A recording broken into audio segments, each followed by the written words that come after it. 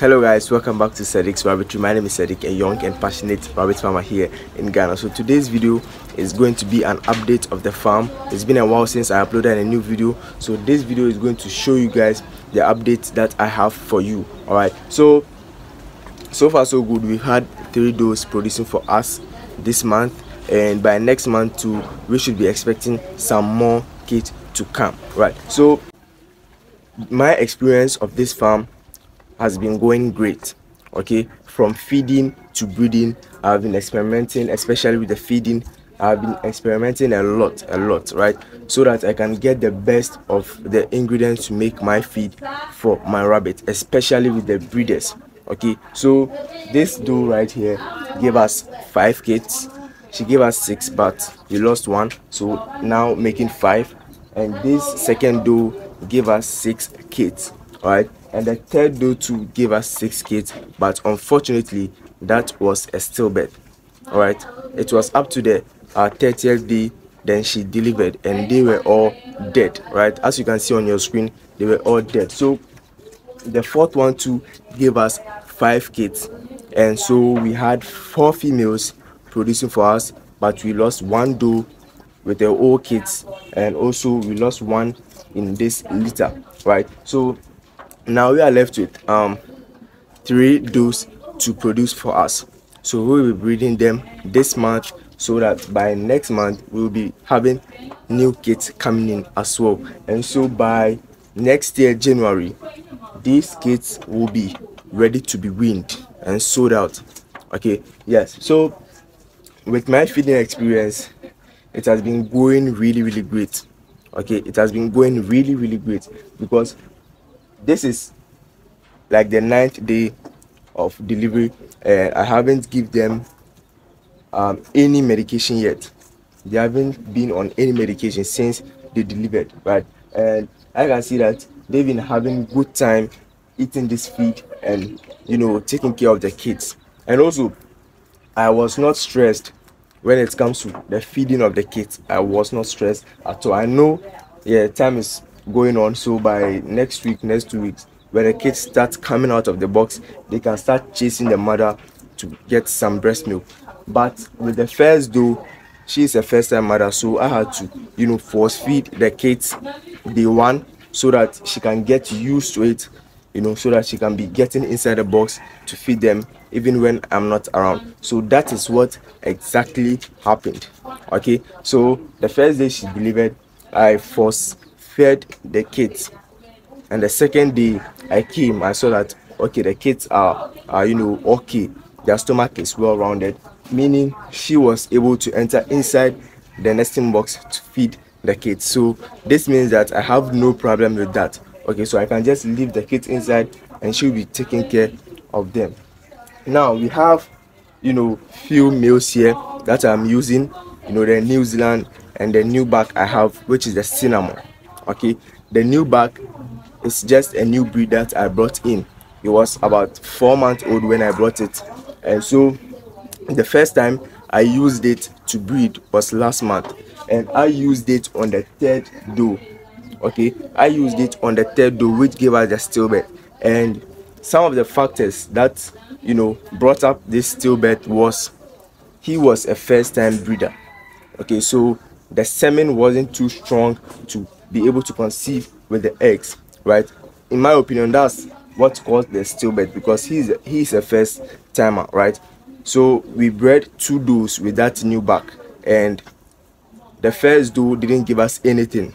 On the 30th day she didn't give us anything and the second doe too had stillbirth.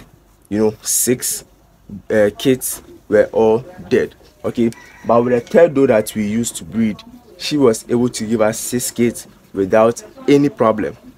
Okay so what i have experienced is that having a new back when you breed it the first time the second time there is likely a chance that you are not going to have litters.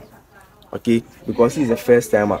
But as time goes on the third breeding fourth breeding then you can start getting some kids out of it. Okay so the third doe as i said she gave us six kids and she is a new zealand so i crossed the cinnamon with the new zealand giving us you know two black rabbits one cinnamon and one palomino. Okay that's the the uh the, the breeds i see here. Two are black which are the Beveren you know they are they are very very dark and the palomino with one cinnamon. So i'll try it again. I'll try the meal on the uh, three does i have left and whatever happens i know that yes this is the reason why it happened you know. So as a farmer you need to always you know know your breeds okay? You should be spending some time with the breed so that you can know them very very well especially new breeders okay? New doe you have you want to start breeding you should always make sure that you you be looking at her from time to time her behavior when you breed her how she behaves when she gives birth how she behaves with the kids. That can end up showing you that this female will be a good mother or not. Okay so and let me just flip this so that you can you can have a look at the kids. Okay so this is the first doe we have here. The kids are inside. This is her third litter.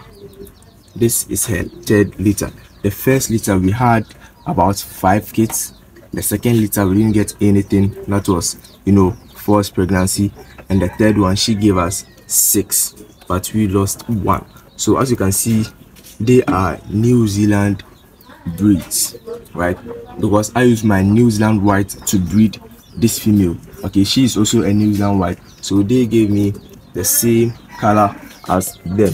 And this is the second doe right here she i bred her with the cinnamon rabbit. And just look at this amazing kits she produced for us right? So take a look at this one right here at the corner. It looks like flemish giant. These are the two satin rabbits. You have two cinnamon and this palomino right here. Okay this is the palomino. These are the satin rabbit. There are two and we have two cinnamon rabbits right here which i think this one too would be a flemish giant produced by a new zealand and a cinnamon okay? This is my third doe we had the stillbirth that's the second uh, um, time i used the male to breed her and we got the stillbirth and this is our fourth doe she gave us five kids as well. These are the kids five kids. I use this female to breed with my uh, you know new zealand male as well. That's why you got the color in my opinion right? And so far so good. My feed has been going so so great so so so great. I have been you know keeping records each and every time with the weight with their health health conditions and some other factors to consider right? Yeah so that's just the update for today. And i hope this video has given you some overview of the farm what's going on and what we should be expecting in the next month that's coming. All right so yes that's it for today. And i hope you've enjoyed watching this video. Give this video a thumbs up if you liked it. And just don't forget to hit the subscribe button down there to get notification whenever i upload a new video. So until next time peace